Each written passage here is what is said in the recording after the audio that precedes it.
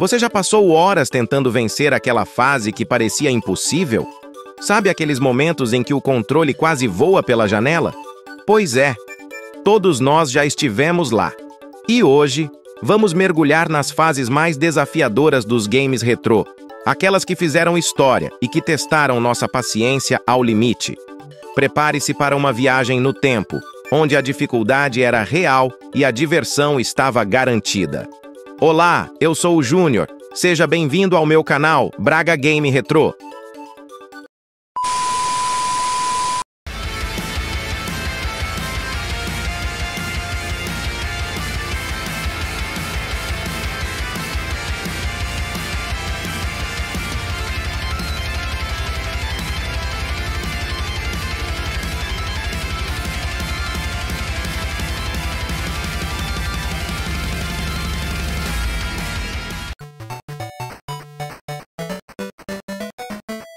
Reviva a magia dos videogames com muito além dos videogames.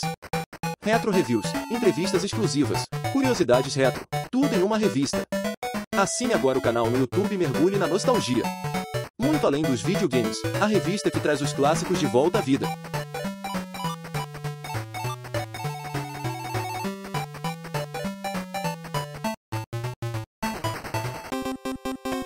Hey, salve, salve galera, beleza? Você deve estar se perguntando: que raios de narração é essa? Resolvi colocar essa narração apenas para dar um ar mais engraçado ao novo quadro que está rolando aqui no canal, chamado Memórias Clássicas. E o tema desse vídeo é As fases mais difíceis de passar. Mas antes de mais nada, eu quero pedir para você se inscrever no canal e deixar aquele like maroto já é. Então bora pro vídeo que o conteúdo está animal. E tem um detalhe especial. Esse vídeo é inspirado numa resposta que dei ao meu amigo Yo Rock Gamer, em um dos vídeos incríveis que rolaram no canal dele sobre o mesmo tema. Então, se você é inscrito aqui no canal, não custa nada passar lá e dar aquela força, hein? Vou deixar o link no card, beleza? Então não fica de bob e vamos logo conferir as fases mais difíceis que enfrentei na infância.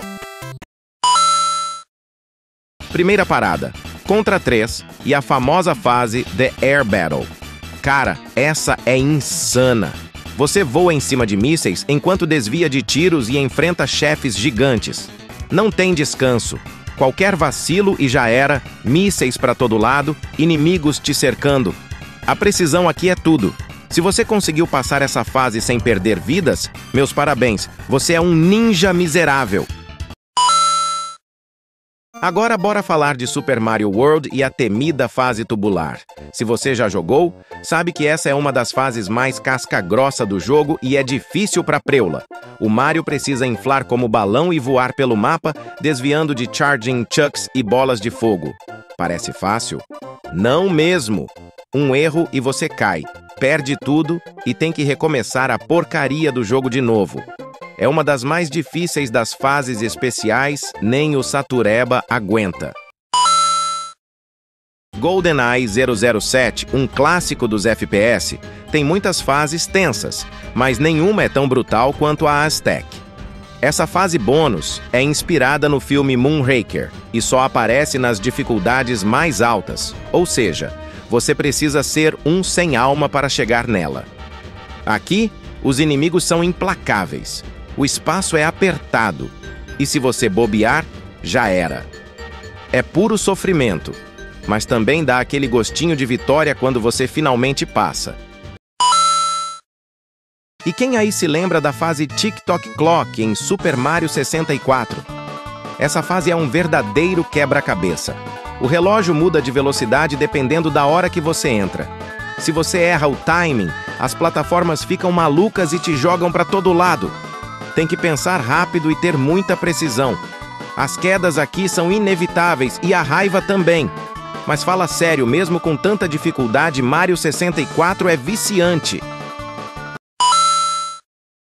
Chegamos a uma das fases mais eletrizantes de Donkey Kong Country 2.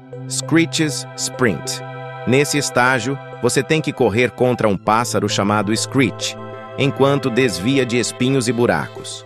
A tensão aqui é absurda, porque qualquer erro significa perder a corrida. Mas olha, a trilogia Donkey Kong é cheia de fases difíceis, né? Quem aí lembra de Toxic Tower, Animal Antics e Platform Perils? Só quem sobreviveu sabe. E aí, galera, deu para sentir a adrenalina?